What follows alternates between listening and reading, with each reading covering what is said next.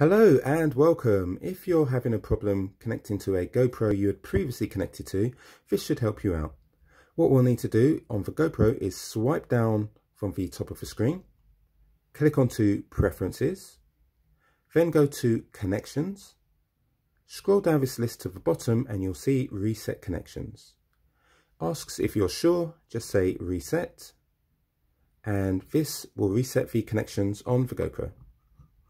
Next up, we go to your phone or tablet, go to settings, then go into Bluetooth, and you'll most likely have the GoPro listed here.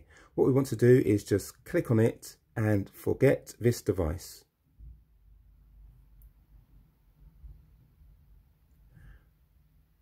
Okay, next up, we'll go to the app, and if you have had it previously connected, just click on the pencil button in the top left, click on remove camera, remove.